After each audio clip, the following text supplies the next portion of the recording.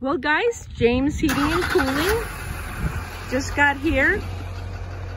They are working on putting in the propane lines for the tankless water heater and our stove.